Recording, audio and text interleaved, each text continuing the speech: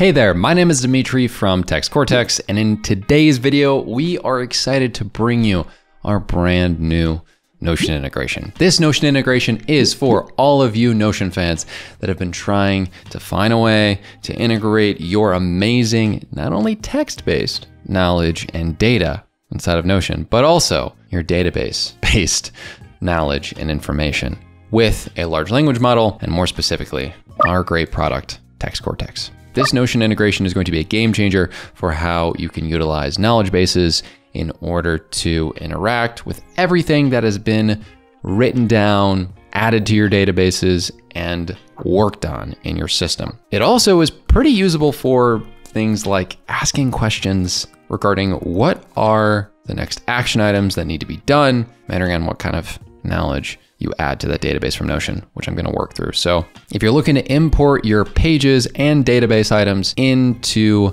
TextCortex, be sure to stick around for this video. But first and foremost, what is a knowledge base? So inside of TextCortex, you can create a knowledge base. As you can see, I have a few here that are based off of a lot of different things you can add to it. So if I go inside of one right here that I already have, also I, I can make one from scratch over here if I want, but I'm going to use uh, this personal SaaS product knowledge as an example one first. So this SaaS product knowledge is great.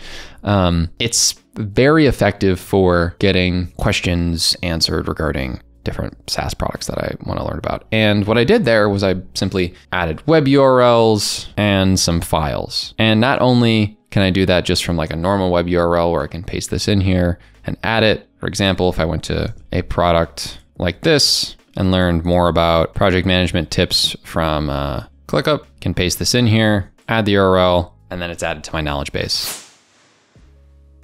So then when I ask a question about ClickUp, say I'm trying to write a script about the best project management tools, let's go to start chat here.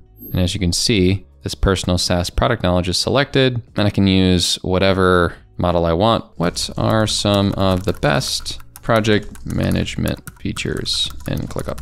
And you can see it's coming from that source and it gives me some of the answers and actually references the source in here, right? So this is great. This is exactly what I want to do. Now, let's do that with Notion, right? So I have a knowledge base I've already created and in here, you can see this has actually got some of my Notion pages already, as well as the database items. So if I press add here, I want to simply utilize the Notion integration so I can link a new account, which is going to be what it's asking you to do in the first place, by going through this and then selecting the pages that you want. So I already have this added. I can add other ones and then press allow access. But since I want to start from scratch, let's just remove the integration altogether and start over, show you how it works. Let's go here, press link new account. And what I'm going to select is a few different things like my internal content calendar for my own YouTube channel as well as let's grab another thing like I think it's called the sales pitch and rebuttal framework, which I wrote out to, to help me with uh, different calls that I'd have with potential people I'd be working with. Um, whether you're selling anything, it's very useful. So we actually now have this here and you'll see you have the ability here to uh, sync it on a consistent basis or daily. So I want to sync this daily so that I can keep all of my items here up to date for my content database, as well as answer questions about my methodology for sales. So it is syncing. When it's done syncing, it'll end up saying active. Uh, you'll see this in here that essentially it's like processing all the different files that are within it. So for a moment, it'll do that. It is a pretty large database. As you can see here, the status is active now that it's synced. So, so let's start a chat. Uh, let's ask it a question. What is the name of the podcast that is set to be scheduled on this Saturday? Look at that, Saturday. I have a podcast coming out Saturday. And that is very true. It is called 170 Setting Your New School Year Schedule. See right here? I click on this. Wow, connected to the database item. That is very impressive for those you are unaware. There's not AI right now that can do this. It referenced a specific piece of content, and the query also figured out different podcasts that are scheduled in the future, right? So that's that's pretty great.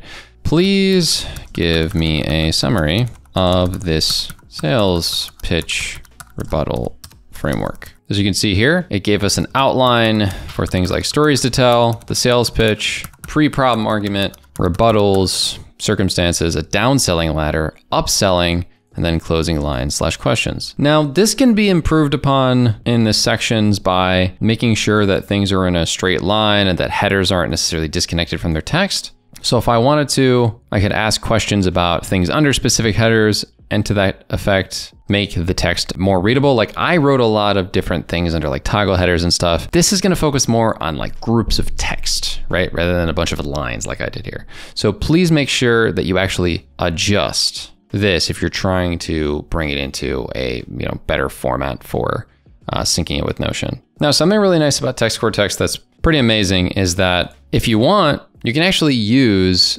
the Chrome extension to retrieve different knowledge from pages like this. So for example, if I go here, I can press this add page right here, and then I'll go to Rise Productive, press confirm. So I'm adding it to this knowledge base. And then I could ask questions of this specifically. So I want to learn more about like what are my overall thoughts on Twitter strategy for growing a platform audience on Twitter. And simply by going into Notion and pressing that button and adding it, I can make it an easy addition into my knowledge base. And then you can see it is added to my system here. And if I click on it, it goes right back to this page. Now, something I want you to do is just simply appreciate the fact that this is not a free option for a lot of other tools. We do not see competitors right now analyzing databases. We do not see competitors right now having you sync with Notion databases consistently. And Notion's AI still can't figure out databases. So with that being said, we're doing pretty well here and we want you to get the most out of it. So make sure to use the link down below to check out TextCortex, get the Chrome extension, and we'll see you in the next one.